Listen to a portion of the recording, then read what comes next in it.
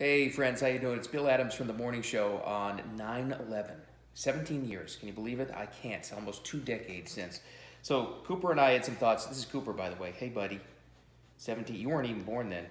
You weren't even born on Easter. What am I talking about?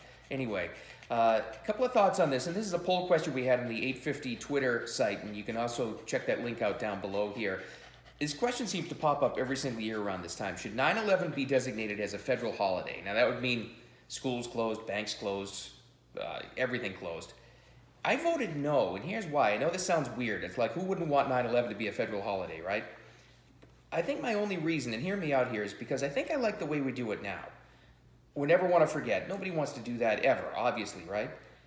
Something sticks in my craw about this, though. If we make it a federal holiday and shut everything down, doesn't it make that act of terrorism and, and cowardice from these animals that did this to us 17 years ago, doesn't it give them a win somehow?